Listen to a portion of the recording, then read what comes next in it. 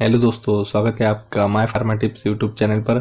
आज हम स्टूडियो में सेंसिक्लियाओ बीडी ड्राई सिरप के बारे में पूरी जानकारी लेने वाले सेंसिक सेंसिक्लियाओ बीडी ड्राई सिरप का मुख्यतः उपयोग बैक्टीरियल इन्फेक्शन की समस्या दूर करने के लिए यूज़ किया जाता है। यह एक एंटीबायोटिक सिरप है। आइए इस सिरप के बारे में और अधिक विस्तार से जानते हैं। ये सिरप कैसे काम करता है क्या इस्तेमाल होता है, इस सिरप के क्या बेनिफिट है, क्या साइड इफ़ेक्ट है इस सिरप से जुड़े सभी सवालों के जवाब आपको इस वीडियो में मिल जाएँगे। तो वीडियो को लास्ट तक ज़रूर देखिए। मैक्लोइड्स फार्मास्यूटिकल कंपनी का ये 30 एम का सिरप आपको मेडिकल स्टोर पर पचास रुपए में मिल जाएगा। दोस्तों, बताई गई कीमत समय के साथ कम या ज़्यादा हो सकती है। यह सिरप खरीदने के लिए आपको डॉक्टर के प्रिस्क्रिप्शन की ज़रूरत होती है। यह डॉक्टर के पर्ची पर मिलने वाला सिरप है। बात करते हैं इस सिरप में मौजूद कंटेंट के बारे में। सेंसिक्लियाओ बीडी, ड्राई सिरप में एमोक्सिसिलिन, आईपी 200 सौ M G clavulanic acid, IP 28.5 M G, यह कंटेन समाविष्ट है। इसमें मौजूद एमोक्सिसिलिन यह एक एंटीबायोटिक ड्रग के क्लास में आता है। यह बैक्टीरिया के सेल वॉल पर हमला करके बैक्टीरिया को किल करने का काम करता है।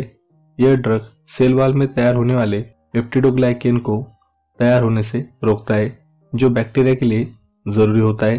क्लेवनिक एसिड, यह एक बीटा लैक्टेमस इनहेबिटर ड्रग है।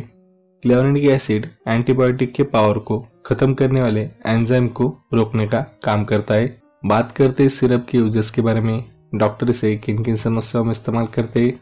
इस सिरप का मुख्यतः उपयोग बैक्टीरियल इन्फेक्शन की समस्या दूर करने के लिए डॉक्टर यूज़ करते हैं। इसे कान का इन्फेक्शन होने की समस्या दूर करने के लिए भी डॉक्टर यूज़ करते हैं। इस सिरप का उपयोग निमोनिया की समस्या टॉन्सिल की समस्या दूर करने के लिए भी यूज़ किया जाता है। इस सिरप का इस्तेमाल यूटीआई इन्फेक्शन होने की समस्या दूर करने के लिए भी यूज़ करते हैं। यूटीआई इन्फेक्शन यानी मूत्र मार्ग का इन्फेक्शन जिसे हम यूरिनरी ट्रैक इन्फेक्शन भी कहते हैं। इसे स्किन इन्फेक्शन होने की समस्या दूर करने के लिए भी डॉक्टर यूज़ करते हैं। इस सिरप का उपयोग गले का इन्फेक्शन होने की समस्या, जोड़ों में इन्फेक्शन होने की समस्या साइनस इन सभी समस्याओं को दूर करने के लिए डॉक्टर इस सिरप का इस्तेमाल एंटीबायोटिक के तौर पर करते, बात करते सिरप के डोसेस के बारे में। आप अपनी समस्या अपने डॉक्टर को बताकर इस सिरप का डोज उनसे निश्चित कर ले। याद रखें दोस्तों, इस सिरप का डोज आपके बच्चे के वज़न पर निर्धारित रहता है। यदि आपके बच्चे का वज़न ज़्यादा हो तो इस सिरप का डोज भी ज़्यादा होगा। यदि आपके बच्चे का वज़न कम हो तो इस सिरप का डोज भी कम होगा। इसलिए आप अपने बच्चे का डोज अपने डॉक्टर से निश्चित कर ले। इसे अपने मन से घर पर न दे।